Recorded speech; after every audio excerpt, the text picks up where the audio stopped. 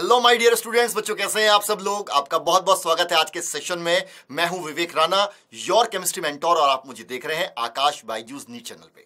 So students 17 जुलाई को हमारा NEET का एग्ज़ाम है और नीट के एग्ज़ाम में अभी सिर्फ़ 15 डेज़ बाकी हैं। सो so, आज के सेशन में मैं आपको बताऊँगा कि क्या स्ट्रेटेजी हो आपकी जब आप लास्ट टाइम अपने सिलेबस को डिटेल में रिवाइज कर रहे हो। देखिए अभी अब ये मैटर करता है कि आपने जितनी भी मेहनत करी है इस साल उसको रिवीजन का टाइम आ गया है क्योंकि नीट के एग्ज़ाम में ये मैटर करेगा कि हमें कितने कॉन्सेप्ट रिटेन हैं। हम कितने कॉन्सेप्ट को याद करके अपने नीट के एग्ज़ाम में जा रहे हैं जिससे कि हम मैक्सिमम से मैक्सिमम या सारे क्वेश्चन को अटेम्प्ट कर पाए। तो आज केमिस्ट्री की स्ट्रेटेजी के बारे में बात करेंगे। सो स्टूडेंट चलिए सबका आपका स्वागत है। मैं बिल्कुल चाहूँगा कि जितने भी स्टूडेंट हमें यहाँ पे ज्वाइन कर चुके हैं, वो सारे सारे बच्चे एक बार सेशन को लाइक ज़रूर कर दें और चैनल को सब्सक्राइब करना बिल्कुल ना भूलें।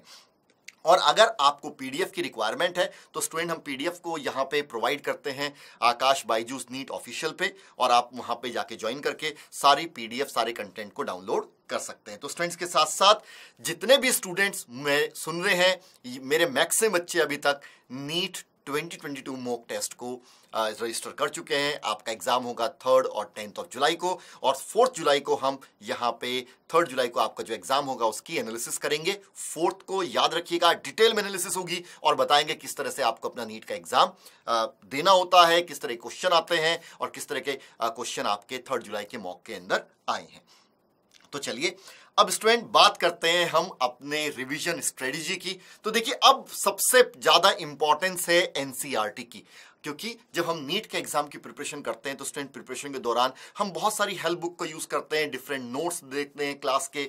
बट अब आपका रिवीजन एनसीईआरटी से होना चाहिए और एनसीईआरटी से भी इन डिटेल रिवीजन होना चाहिए। मैं आपको बताऊँगा कि कैसे आप रिवीजन करें फ़िज़िकल केमिस्ट्री ऑर्गेनिक केमिस्ट्री और इनऑर्गेनिक केमिस्ट्री का।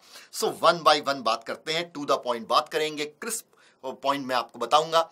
देखिए फ़िज़िकल केमिस्ट्री के बारे में बात करें फ़िज़िकल केमिस्ट्री में दोनों तरह के क्वेश्चन आते हैं। कॉन्सेप्चुअल क्वेश्चन भी आते हैं और न्यूमेरिकल भी आते हैं। सो कॉन्सेप्चुअल क्वेश्चन के लिए आप जो है जो कॉन्सेप्ट आपने पढ़े हैं फ़िज़िकल केमिस्ट्री के अंदर, उनको एक बार डिटेल में देखिए कि उनकी एक्सप्लेनेशन उनकी प्रॉपर डेफिनेशन को बिल्कुल देखना है।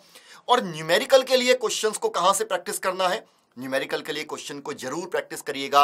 एनसीईआरटी के अंदर जितने भी सॉल्व इन टेक्स्ट और एक्सरसाइज के क्वेश्चन होते हैं। स्टूडेंट लगातार मैं देखता आ रहा हूँ कि एनसीईआरटी के अंदर जो एक्सरसाइज के क्वेश्चन है वहाँ से क्वेश्चन डायरेक्टली आ जाता है नीट एग्ज़ाम में विद सेम वैल्यू। ऐसा बहुत सारे चैप्टर से होता है एटॉमिक स्ट्रक्चर से गैशियस स्टेट से thermodynamics equilibrium electrochemistry solution. So लगातार आपको मैं बताता जा रहा हूँ कि भाई वाकई में चाहे आप ड्रॉपर हैं चाहे नीट के अंदर ऑब्जेक्टिव क्वेश्चन के आ, पूछा जाता है बट यहाँ पे भी आपको सब्जेक्टिव क्वेश्चन की प्रैक्टिस करके जाना है जिससे कि आपको ये पता लग जाए किस तरह से फॉर्मूले कौन सा फॉर्मूला कौन से कॉन्सेप्ट के अंदर यूज़ होता है। कैलकुलेशन की आपकी अच्छी प्रैक्टिस हो जाएगी। लास्ट टाइम के अंदर। और हो सकता है कि फोर टू फाइव क्वेश्चन अगर वहाँ से डायरेक्ट आ गए तो हमारी बल्ले बल्ले है और हम, क्योंकि करे हुए क्वेश्चन हम आसानी से सॉल्व कर पाएँगे तो हमें कम टाइम लगेगा क्वेश्चन को सॉल्व करने में कॉन्फिडेंस हमारा हाई रहेगा। तो फ़िज़िकल केमिस्ट्री के लिए सारे एक्सरसाइज के क्वेश्चन मेरे स्टूडेंट्स जो मुझे सुन रहे हैं, मुझे फॉलो करते हैं डेफिनेटली करके जाएँगे नेक्स्ट फिफ्टीन डेज़ के अंदर। इसके बाद में स्टूडेंट बात करते हैं ऑर्गेनिक केमिस्ट्री की। भाई ऑर्गेनिक केमिस्ट्री तो कॉन्सेप्चुअल बेस है। ऑर्गेनिक केमिस्ट्री में क्या क्या पार्ट इंपॉर्टेंट है? ऑर्गेनिक केमिस्ट्री में नेम रिएक्शन इंपॉर्टेंट है रिएक्शन मैकेनिज्म इंपॉर्टेंट है। रिएजेंट को जानना इंपॉर्टेंट है कि कौन से रिएजेंट होते हैं पर्टिकुलर नेम रिएक्शन के अंदर ऑक्सीडाइजिंग एजेंट रिड्यूसिंग एजेंट और इनको अगर आपको कम टाइम में रिवाइज करना है तब भी आप ऑर्गेनिक केमिस्ट्री के अंदर जो एंड में एक्सरसाइज के क्वेश्चंस हैं उनको सॉल्व करिए। वहाँ पे आपको बड़े शानदार कन्वर्जन्स देखने को मिलेंगे। डिस्टिंग्विश बिटवीन डिफरेंट कंपाउंड के जो क्वेश्चंस आते हैं वो देखने को मिलेंगे। सो so, कन्वर्जन से डिस्टिंग्विश uh, बिटवीन से और आपको पता लगेगा उसके अंदर की कौन से पर्टिकुलर कंडीशन में कौन सा प्रोडक्ट मिलता है। सो so, आप जो है बहुत ज़्यादा कॉन्सेप्ट को कम टाइम के अंदर उन एनसीईआरटी क्वेश्चन e से रिवाइज कर सकते हैं। इसके साथ साथ एनसीईआरटी के अंदर जो रिएक्शंस के साथ साथ थियोरी लिखी रहती है, वहाँ पे जो कंडीशंस मेंशन होती हैं, उन कंडीशंस को भी अच्छे से देखिए, अच्छे से पढ़िए, जिससे कि आपको एग्ज़ाम के टाइम में वो कंडीशंस याद रहें। स्टूडेंट इसके बाद में हम बात करते हैं इनऑर्गेनिक केमिस्ट्री की। या देखिए इनऑर्गेनिक केमिस्ट्री के लिए फैक्चुअल ज़्यादा है तो जितने ज़्यादा फैक्ट आपको याद रहेंगे, उतना अच्छे से आप जो है इनऑर्गेनिक केमिस्ट्री के क्वेश्चन को अटेम्प्ट कर पाएँगे। तो एनसीईआरटी की लाइन टू लाइन पढ़िए शॉर्ट नोट्स बनाते जाइए। आप अपने आप से पूछिए कि कौन सा जो चैप्टर ऐसा था जिसके अंदर आपको थोड़ा डाउट लगता है तो उसके उसका जो उस पर्टिकुलर चैप्टर का रिविजन ज़्यादा करिए। S block periodic properties P block coordinate chemistry और बताता हूँ मैं आ, हमारे पास में यहाँ पे केमिस्ट्री एवरीडे लाइफ ये पर्टिकुलर जो पार्ट आता है ना हाइड्रोजन यहाँ से जो लाइंस लिखी हुई एनसीईआरटी वहाँ से क्वेश्चन आ जाता है तो उन लाइंस को आपको समझना ज़रूरी है। आपको याद होना ज़रूरी है और एनसीईआरटी के बाहर पेपर नहीं आता। सो अल्टीमेटली अपने, हमें इतने कॉन्सेप्ट को बार बार पढ़ना जिससे कि हम अपने कॉन्सेप्ट को रिटेन रख पाए जब हम अपना एग्ज़ाम देने जा रहे हैं। तो इस तरीके से आप एनसीआरटी को यूज़ करिए फ़िज़िकल ऑर्गेनिक और इनऑर्गेनिक के लिए। सो so, स्टूडेंट अब इसके साथ साथ पॉइंट ये भी आता है कि हमें प्रीवियस ईयर क्वेश्चन सॉल्व करने हैं बट अब आप 20 ईयर के प्रीवियस ईयर क्वेश्चन सॉल्व करिए।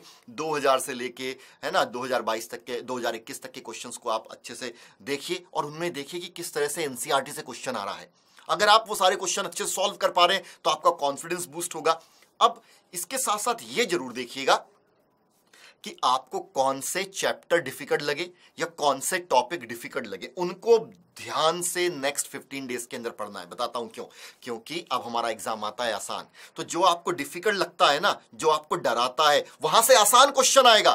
तो आप उससे डरिए मत, उसको स्किप मत करिए, छोड़िए मत। वहाँ से अगर आप नॉर्मल कॉन्सेप्ट को भी अंडरस्टैंड करके चले जाते हैं तो आप आसानी से क्वेश्चन को सॉल्व कर लेंगे। बहुत सारे बच्चे मुझसे कहते हैं, सर, क्या हम थर्मोडाइनमिक्स क्या हम इक्लिब्रियम को छोड़ सकते हैं, क्या हम कोऑर्डिनेट केमिस्ट्री को छोड़ सकते हैं? मैं कहता हूँ कि कोई भी टॉपिक कोई भी चैप्टर मत छोड़िए। क्योंकि जो आपको डिफ़िकल्ट लगता है, एक बार आप उसको चलिए सुपरफिशली भी पढ़ लेंगे एनसीआरटी के क्वेश्चन भी सॉल्व कर लेंगे तो आपको जब क्वेश्चन आएगा तो आपको ऐसा लगेगा कि नहीं सर वहाँ से तो आसान क्वेश्चन आया था। और मैंने उसको अटेम्प्ट कर दिया, मेरा सही हो गया, मैंने आपकी लास्ट टाइम में बात मानी, जो आपने एक लिस्ट बनाई है डिफ़िकल्ट टॉपिक की, और उन पे उनको कहीं और से नहीं तो एटलीस्ट एनसीआरटी से ही एक बार अच्छे से पढ़ लीजिए। ये टिप आपको बहुत काम आएगी, आपका 100 परसेंट सिलेबस कवर हो जाएगा सिलेबस इन डेप्थ कवर हो जाएगा, और आप बेस्ट मार्क्स के साथ बेस्ट रैंक भी लेके आएँगे, बेस्ट मेडिकल कॉलेज के अंदर जाएँगे बच्चों। ये बहुत इंपॉर्टेंट पॉइंट है। अब, आप पर डे अगर मैं बात करता हूँ तो पर डे स्टूडेंट आप थ्री चैप्टर्स को रिवाइज करिए। पर डे थ्री चैप्टर्स को रिवाइज करिए। आपका एक चैप्टर होना चाहिए फ़िज़िकल केमिस्ट्री से एक चैप्टर होना चाहिए हमारे पास में ऑर्गेनिक केमिस्ट्री से एक चैप्टर होना चाहिए इनऑर्गेनिक केमिस्ट्री से। ऐसा क्यों? क्योंकि सर, क्या हम एक दिन पूरा फ़िज़िकल एक दिन ऑर्गेनिक एक दिन इनऑर्गेनिक ना करें? मेरा हिसाब से तीनों चैप्टर को तीनों फ़िज़िकल ऑर्गेनिक इनऑर्गेनिक क्योंकि जितने दिन बचे हैं, उस दिन थ्री चैप्टर तो पर डे रिविजन होना चाहिए। ऐसा इसलिए ज़रूरी है क्योंकि हमारा जो एग्ज़ाम आएगा फोर्टी फाइव क्वेश्चंस के अंदर, हमारे पास जो केमिस्ट्री क्वेश्चन जो हमें अटेम्प्ट सॉल्व करने हैं, उसके अंदर फ़िज़िकल ऑर्गेनिक इनऑर्गेनिक होगा। तो बहुत क्विकली हमारा जो ब्रेन है, वो एक जगह स्टक ना रहे कि फ़िज़िकल कर रहे हैं तो फिजिकली याद आ रही इनऑर्गेनिक याद नहीं आ रही, या इनऑर्गेनिक कर रहे हैं तो ऑर्गेनिक याद नहीं आ रही। तो आप बहुत आसानी से जंप कर पाएँगे एक कॉन्सेप्ट से दूसरे कॉन्सेप्ट इसकी प्रैक्टिस आप ऑलरेडी कर चुके होंगे। अब बात आती है सर हम कितने मॉक टेस्ट के बारे में बात करें। So next fifty next fifteen days में at least five to ten mock test on the base of your preparation ठीक है? पाँच से दस मॉक टेस्ट लगाएँ। आपको लगता है, सर, जो आप बता रहे हैं एनसीआरटी वो भी अच्छे से पढ़ी हुई है। तो मैं कहता हूँ, हर दिन एक मॉक टेस्ट लगाए, बहुत ज़रूरी है। आपको लगता है, सर एनसीआरटी के साथ साथ मॉक टेस्ट लगाने हैं? तो नेक्स्ट फिफ्टीन डेज़ में पाँच मॉक टेस्ट भी आपके लिए सफिशियंट होंगे। उसके साथ साथ जो आकाश के मॉक टेस्ट है, दो जो प्रैक्टिस मॉक टेस्ट है, वो आप दे सकते हैं। तो हमारे पास five plus two at least seven mock test हो जाएँगे, जो नेक्स्ट फिफ्टीन डेज़ के अंदर आप यहाँ पे हमारे साथ में सॉल्व करेंगे। और इसके साथ साथ बेटा, आकाश बाईजूस नीट चैनल पे मैं आपको इंपॉर्टेंट क्वेश्चंस की प्रैक्टिस लगातार कराए जा रहा हूँ। इसलिए करा रहा हूँ कि मैं जानता हूँ कि वहाँ से बहुत सारे क्वेश्चन जो है नीट एग्ज़ाम के अंदर रिपीट होने वाले हैं। प्रीवियस ईयर क्वेश्चन से ही आपको एटलीस्ट 45 में से टेन क्वेश्चन देखने को मिल जाएँगे। तो ये एग्ज़ाम टफ नहीं है। बस टफ यहाँ पे बात क्या है कि सर हम एग्ज़ाम के दिन तक सारे, जितना भी हमने मेहनत करी है, जितने भी सारे कॉन्सेप्ट पढ़े हैं, क्या हम उनको रिटेन रख पा रहे हैं? और रिटेन रखने के लिए मल्टीपल रिवीजन की रिक्वायरमेंट है। तो ये सारी बातें इंपॉर्टेंट हैं जो मैं आपके साथ लगातार करता जा रहा हूँ लगातार आपको गाइड करता जा रहा हूँ। उम्मीद कर रहा हूँ कि मेरी गाइडेंस आपको बहुत अच्छी लग रही होगी आपके काम आ रही होगी। इसके साथ साथ आप कमेंट बॉक्स में आ, मुझे बता भी सकते हैं कि किस पर्टिकुलर टॉपिक पे आपको गाइडेंस की रिक्वायरमेंट है किस पर्टिकुलर टॉपिक पे आपको और ज़्यादा क्वेश्चन की रिक्वायरमेंट है। तो बचे हुए जितने भी दिन हैं उनके अंदर मैं आपके साथ लगातार ऐसे सेशन लेके आता रहूँगा जो आपकी डिमांड पे होंगे। बिल्कुल मैं आपके साथ इस बात का प्रॉमिस करता हूँ। और स्टूडेंट नेक्स्ट 15 डेज़ में आप आकाश बाईजूस ऐप को डाउनलोड करके उसके कंटेंट को भी बहुत अच्छे से यूज़ कर सकते हैं। शानदार कंटेंट है, जो आपकी प्रिपरेशन में चार चाँद लगा देगा, आपकी प्रिपरेशन को एनहेंस कर देगा बूस्ट कर देगा। और यहाँ पे यहाँ पे हम आपको प्रोवाइड करते हैं best question best quizzes animated video बहुत सारी चीज़ें हैं जो आप आकाश बाईजूस ऐप को डाउनलोड करके यूज़ करेंगे, तब आपको पता लगेगा। तो स्टूडेंट इन्हीं सारी बातों से आज का सेशन मैं आपके साथ में एंड करता हूँ। उम्मीद करता हूँ कि आप बहुत अच्छे प्रिपेयर कर रहे होंगे, अपने आप पर विश्वास रखिएगा कि ज़रूर आप इस बार नीट क्रैक करने जा रहे हैं और आपको अपना ड्रीम कॉलेज मिलेगा, है ना? इस बात की उम्मीदों के साथ में, इन सारी दुआओं के साथ, आशीर्वाद के साथ में आज का सेशन में एंड करता हूँ। Thank you guys thank you very much